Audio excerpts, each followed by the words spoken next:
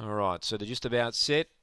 Favourite in the blue, Hello, I'm Jade, Long Gully Terry, the main danger, according to the market. Lights on, set. Here's the lure. Favourite in the blue, ready. Away, hello, I'm Jade, sprung out of the boxes, and Long Gully Terry saw it come over as well. The Faves are 1 2, and they put up three on Rip the Band Aid. Then came Mr. Onassis, Acker Jet, out the back, Gateway Bliss as Long Gully Terry took over and uh, left the favourite standing. Hello, I'm Jade for the short time. They turned the bend. Long Gully Terry put up two and is doing it well and holding Hello, I'm Jade. And Long Gully Terry defeats Hello, I'm Jade. Rip the Band Aid third. Mr. Onassis, I think, fourth. Acker Jet didn't fire. And last in was Gateway Bliss. Long Gully Terry, number eight, double for Paula Herndon now. So she joins in the party.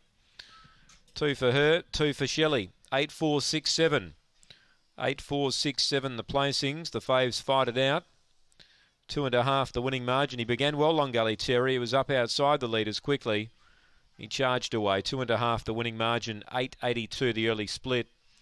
And the run home was clocked in 14.19 after race six.